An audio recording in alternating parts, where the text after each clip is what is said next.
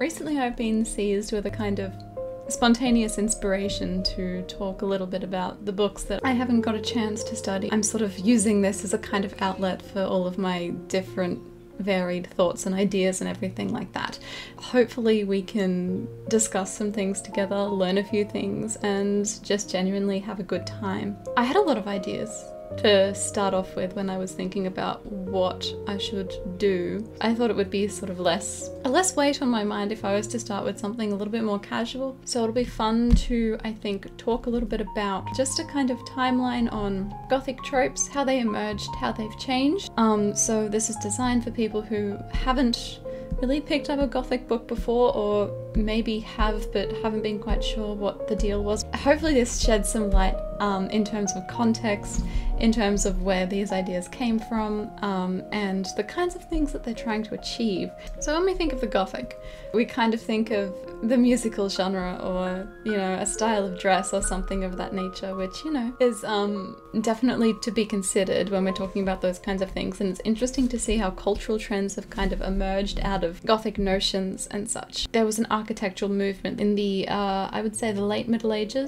you look at famous churches like the um, Papal Palace in Avignon, for example, sort of high arched windows, very awe inspiring, and is basically designed to make you feel little, which is why um, Gothic architecture is used a lot and medieval churches and such, very much from a late medieval period before the Renaissance started to happen, and before the Protestant Reformation and everything like that, which comes into play very strongly when we start talking about Gothic literature and the tropes it kind of relies on to create a similar sense of awe inspiring dread or heavy kind of emotional response to terrible, terrible things that happen in these books. Essentially, what the Gothic is trying to do, it's taking a very romanticist kind of point of view in the way that William Blake tries to kind of evoke all of these emotional responses in you through poetry and stuff by talking in very, you know, broad, kind of overarching terms about the beauty of nature and the um, degradation and disgusting way that mankind, you know, completely and utterly annihilates it through their progression and industrialization. All of the toxic elements of society seek to kind of oppress. What is so beautiful and utterly kind of devastating about nature in a way that we can't possibly hope to comprehend because it's something so much larger than just sort of one person's individual experience. It's trying to evoke this kind of pure emotional response out of them to make them power in a metaphorical corner, making the good aspects, the good characters, the heroes, feel powerless and small in the sort of wake of the villainous aspects. They take many different forms, but that is essentially the kind of standard. The hero is constantly being oppressed by a force which is larger and more powerful than themselves, and they often have to outrun it to get to safety once again. Often they end happily, often they don't end quite so happily. When I go through my five novels today, I am not going to be giving away the endings because um, I hope that after I talk a little bit about them, you'll be inspired to go and read some of them. This movement sort of became popularized um, very much in England. All of the books I will be talking about today, all of them are English. In England, there was a sort of very adverse reaction to everything that happened in the French Revolution because there was a lot of romanticism. Um, there was a lot of brutality, a lot of murder, a lot of people parading around the streets of Paris with the heads of monarchical figures on pikes. From the English perspective, a nation, a society that was in the process of industrializing and very much caught up in notions of sensibility. All of these things happening in France uh, seem to be completely and utterly barbaric, medieval, and dark and regressive in a lot of ways ways to the English mindset. It becomes a point of inspiration for all of these novels, these Gothic novels, to sort of emerge in the spirit of fictionalizing the sense of revolutionary horror that emerged from the French Revolution in the mindset of the English.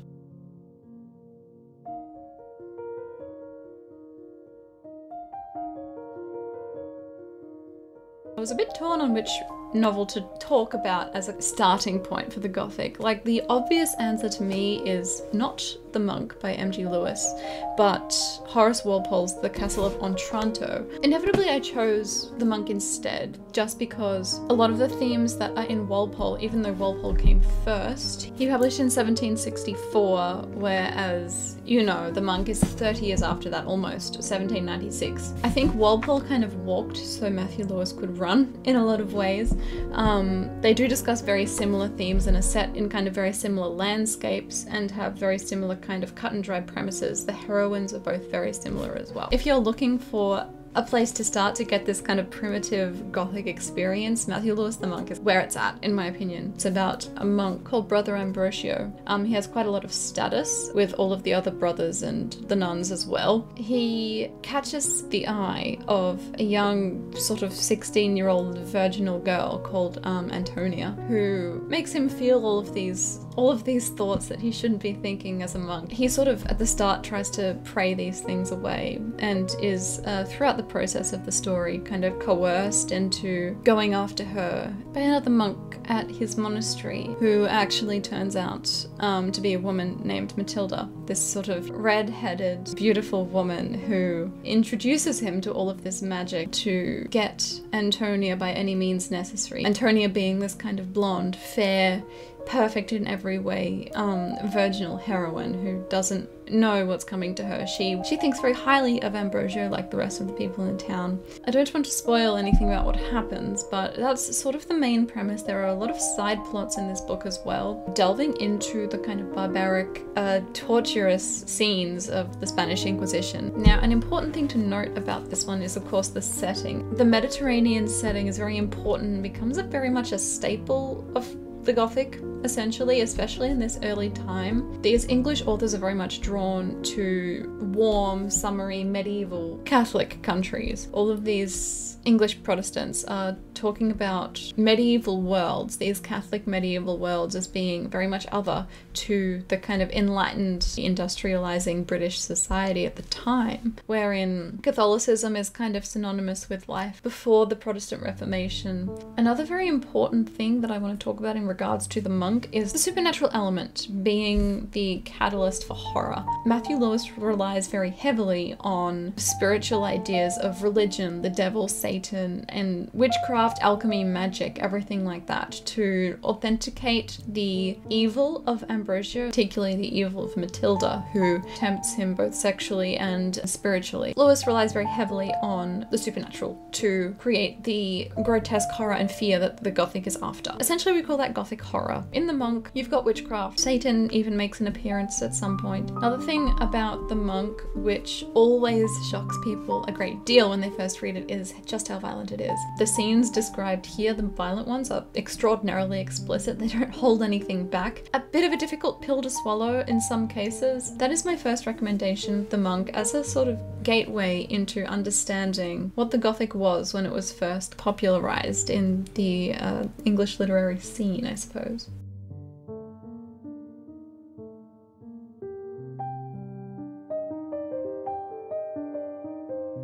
Next, I'd like to talk about Ann Radcliffe's The Italian. Now, Ann Radcliffe is a kind of household name when it comes to the Gothic. If you think about Gothic fiction and Gothic, Gothic literature, she's going to be the one who appears probably first on your list of be all and end all Gothic authors and such. She does a really good job of waxing poetic about the landscapes and combining the sense of that Gothic grotesque element of the sublime with the romanticist beauty of nature. How it makes us feel small in comparison, but how that is also kind of a nice thing. It is a really good response to Lewis's The Monk. The main villain is again a priest. It's set in Italy instead rather than Spain, but it's still that medieval Catholic environment, same time period. The premise of this one, essentially, is there is Father Schedoni who has decided that he likes Eleanor, who is a kind of middling class girl. So he enlists the help of a Marchesa um, of Vivaldi to destroy her and bring her to him. Radcliffe in this one has sort of taken the tropes or archetypes that Lewis plays around with in his novel and kind of toys with them, plays around with them, changes them slightly, a little bit in some cases. Um, for instance, Eleanor isn't as virtuous as Antonia. Eleanor's a little bit more pragmatic. She hasn't got as much money as what Antonia does. She has more more of an active perspective in the novel as opposed to Antonia, who is just sort of there as a symbol. Eleanor is given a little bit more autonomy, and we love her for that. In The Monk, the threat is entirely supernatural in origin. In Radcliffe, in general, not just in the Italian, but in pretty much all of her novels, she relies not at all on the element of the supernatural. She relies on very real world, human level threats. You know, the joint threat of the Marchesa and Schedoni, who together have quite a lot of political and spiritual power as well as Schedoni being the large, overpowering physically man that he is. So it's this interplay between the villain having both power and status over the hero and heroine, and they, from their submissive positions, have to fight back against these large, foreboding, powerful evils that hold both power and status above them. It's very similar in The Monk, actually, when you think about the relationship between Antonio and Ambrosio, wherein Ambrosio is a kind of spiritual leader um, in the town where the where the novel is set. Um, Ambrosio has physical power, supernatural power. He has spiritual power. He has political power. All of these things, all of this status over her. And so it's very similar in this way. And this is something that also very much defines the early Gothic as well. Is that the villains also always have both power and status. And this is something that the heroes inevitably lack in comparison to them. It's a lot less overtly violent than Lewis's novel as well. So if you're wanting something that's a little bit less slap bang in your face, I would absolutely recommend the Italian. This one is a lot more digestible in that the violence isn't quite so explicit as in the previous one. Now, we call this realistic Gothic as opposed to the supernatural Gothic of um, Lewis. We call this Gothic terror instead of Gothic horror. Terror of the human condition and all of the societal, cultural nuances which make being a human so terrifying and represents very nicely the other side of the Gothic in this early period, the horror and the terror. I'd love to know which one everybody prefers the idea of. Do you prefer horror movies that rely very heavily on supernatural aspects to create this kind of horror element, or do you prefer ones that rely on humans and humans doing terrible, horrible things and power dynamics and hierarchies, abuses of power, temptation in a very human sense? In early Gothic novels, I always tended to prefer the supernatural ones, but thematically, I always find terror to be more interesting than horror just because it's more immediately relatable to think of humans as being sort of inherently awful beings because they often are, as opposed to making that kind of leap to thinking about things supernaturally back in the 1790s when these were being written. Religion and spirituality and God and Christianity in general were a lot more tangible. You know, now we tend to be a lot more secular about these types of things, and so the horrible gothic aspect that it tries to make you feel is easier to come by when we're talking about terror, when we're talking about reality now, I think.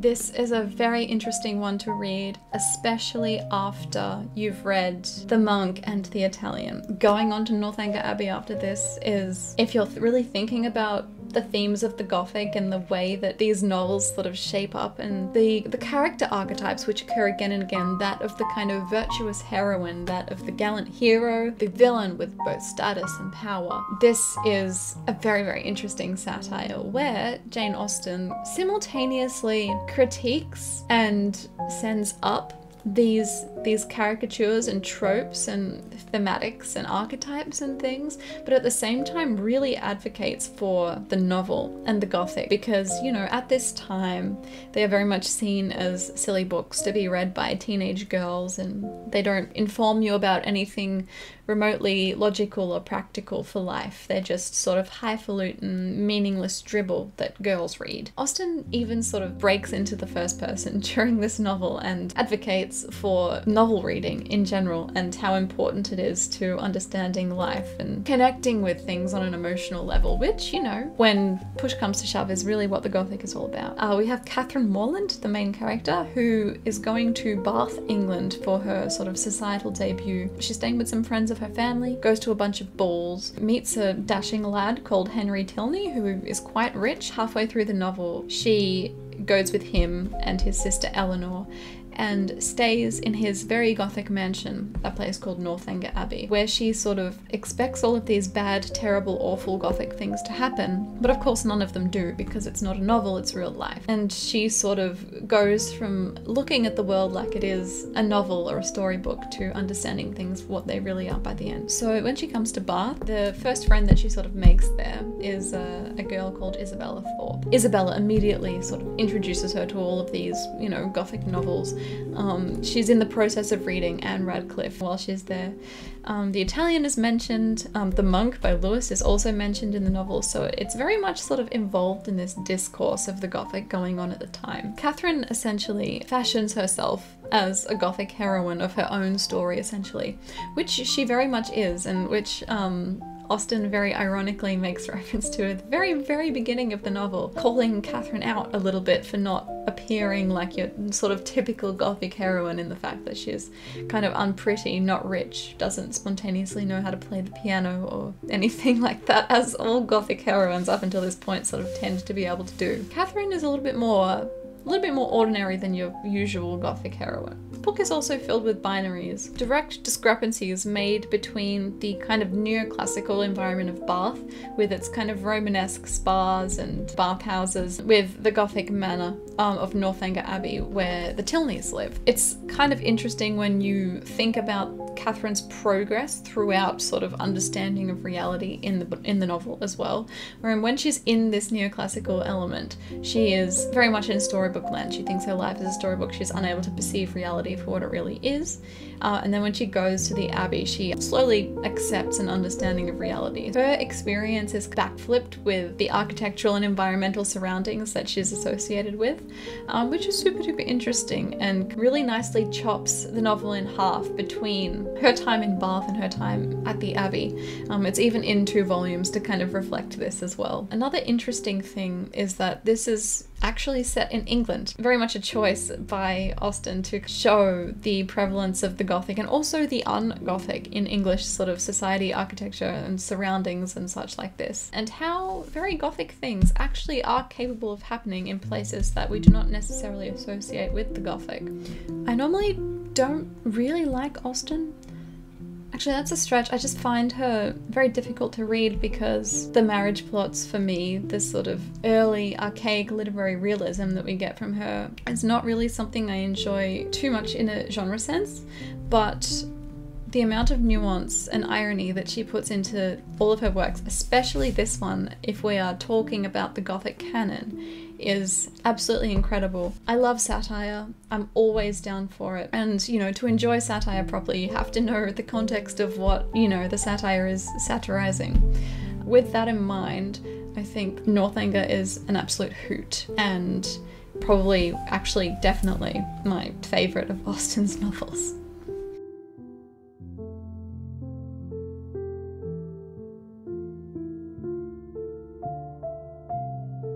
Which leads me to Mary Shelley's Frankenstein, which is absolutely wonderful. You know, the sort of predecessor to science fiction, and a very, very interesting marriage of the Gothic and the sort of more sublime poetic romanticism that we spoke about before. Frankenstein itself is set in Switzerland mostly, which isn't very Mediterranean, but we're talking about Lake Geneva, sort of with Mont Blanc in the background, um, a very, very sublime, beautiful uh, environment which is referred to throughout the novel constantly. The um, beauty of the landscape is paramount to this novel, and you'll see it very easily in the sort of way that she continually describes um, the way that everything looks. I believe she wrote this when she was in Como in Italy. Um, so surrounded by all of those kinds of landscapes that have become sort of synonymous with the Gothic. It needs to be beautiful for bad things to happen because it's doing that to toy with our emotional response, right? Everything that happens in the Gothic is larger than life. Um, whether it be supernatural villains, whether it be these powerful political or spiritual figures, or, you know, the landscape around us with tumbling avalanches, winds, scorching hot summers, things that sort of play into the extremes of life and human existence, things that we don't have any semblance of control over. The fact that we don't, that we're powerless to all of this stuff, is what creates this sort of emotional high that the Gothic is really trying to tap into. A really interesting thing about Frankenstein is, as I said, it's a predecessor to science fiction in general, in that it and science fiction as an extension bridges that gap between gothic horror and gothic terror that we talked about before. It takes a thing that isn't real, an imagined concept, like in this case, creating a, a monster out of discarded human parts. It's it's not a concept that exists, it's not something that has been done in the past, or at least to our knowledge, not successfully, that's for sure. That's where the sort of element of the supernatural comes in, but it is explained in a way that is sound in the fact that it is scientifically viable.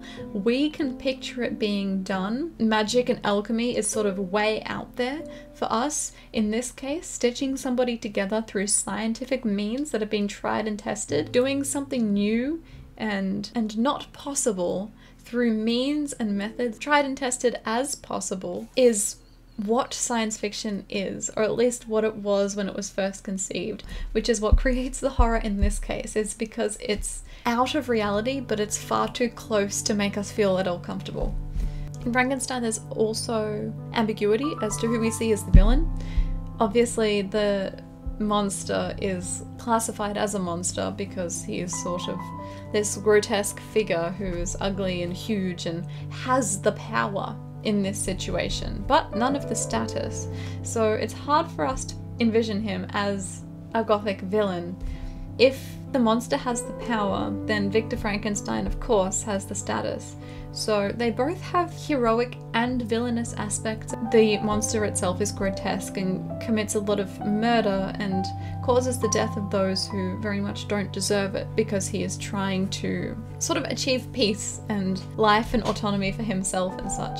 But on the other side of the spectrum, we've got Victor, who is very much playing God and creating this this uh, this monster in his own image and um, sort of denying it its right to reproduce and all of that kind of thing, which is the only thing that it wants. We can see a stripping down here of the Gothic hero and the Gothic villain, wherein Victor and the monster play both at once simultaneously against each other, with none of them being wholly good or wholly evil. It's a lot more convoluted in this one. It uses exactly the same parameters and tropes, but just shares them across both characters rather than giving all of the heroic things to the hero and all of the villainous ones to the villain. It's ambiguous here because we don't know who the hero or the villain is. Basically, this shows a rise in interest of science in the Gothic and how they come to sort of combine to create a joint experience in that science can indeed inform the Gothic, and the Gothic can indeed question science, and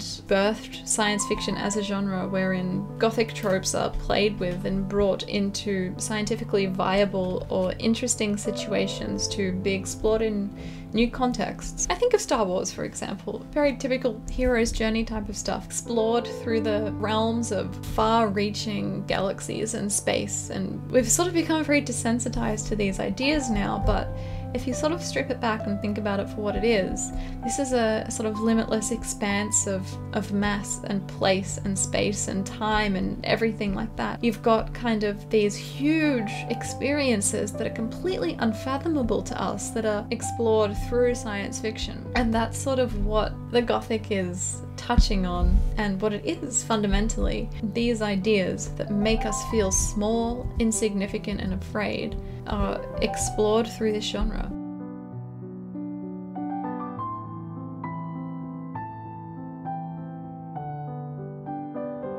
Bram Stoker's Dracula is certainly not the first vampire novel to ever have existed. Polidori's The Vampire is probably the first major one. Le Fanu's Carmilla is also a very famous one that came before Stoker. But with Dracula, um, he's definitely tyrannical in the gothic horror sense. The sense of the supernatural is there, um, so we're drawing back on, you know, that Matthew Lewis idea of gothic horror, of the supernatural informing what is terrible about this. But there is also some sort of underlying subplots here which give the implications of this Transylvanian vampire man an extra sort of level of significance and that's the sort of post colonial aspect in that he is from far, far east in Romania, where things are actually very much still largely medieval and underdeveloped, especially as opposed to places like Britain in Western Europe and everything like that, um, where people still live largely in agricultural societies rather than in urban centres like in Britain. Everything is still very medieval and reminiscent of the Dark Ages, and all of those those things that the Gothic is, you know, historically with Radcliffe and Lewis tried to kind of emulate and represent as being other and dark and dreary and horrible and evil and barbaric and violent and all of that. When Dracula comes from this society to London, um, 1890s London. He brings with him the sort of insidious, archaic lifestyle that he, you know, sort of lived and breathed. Well, breathed is subjective, but lived, unlived back home. And he starts going after both men and women, turning them into his multiple wives, keeping them locked up, um, sort of below his ruined abbey that he's living in and so. Um, the first wife he goes after is Jonathan, so it sort of paints a picture of foreign people and cultures and foreign influence more generally as being lecherous and insidious in the most fundamental sense, as Dracula literally drains the life force from this civilized society and imprisons it, um, sort of in his own domain. Yes, and he doesn't discriminate based on gender or anything. He'll take a wife that is a female or a wife that is a male. Because Bram Stoker um, was writing for a British audience and he was Irish, um, he sort of felt the desire to make sure that he was received in the context of the British canon rather than him being seen as an Irish writer. This is coming off the back of Oscar Wilde's recent imprisonment based on the fact that he was homosexual, and so Stoker was extraordinarily eager to distance himself from all of the implications of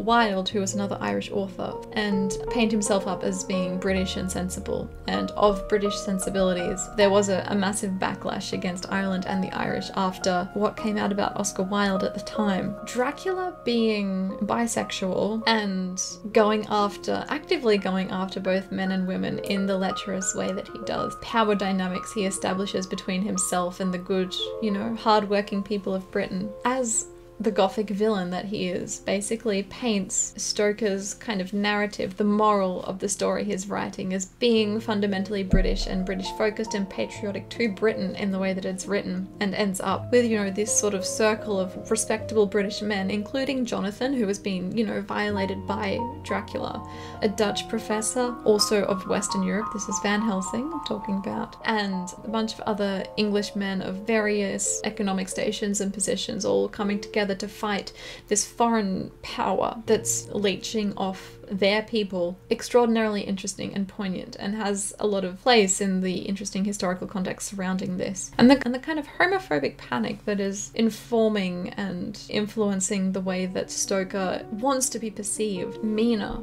Harker um, Jonathan's eventual wife, um, is far more active than your kind of Antonias or Catherine Morlands of the sort of early Gothic narrative, even the Elizabeth Lavenzas of uh, Frankenstein. She is a working woman. She understands London City extraordinarily well. She knows how to use modern technology. She is proficient in writing shorthand, which the book is very adamant on reminding us every chapter, it feels like. It's interesting sort of to see the progression of this idea of science science coming into play again, and it is sort of the culmination of the Circle of Lights, or you know, all of the vampire hunters. Um, so Arthur, Jonathan, um, Mr. Seward, and of course Van Helsing coming together. All of these learned men who have active roles in society as professionals. They all have a profession, they're all working men in some capacity, coming together to fight this sort of ancient evil with all of their modern tendencies. And of course, Van Helsing is a professor.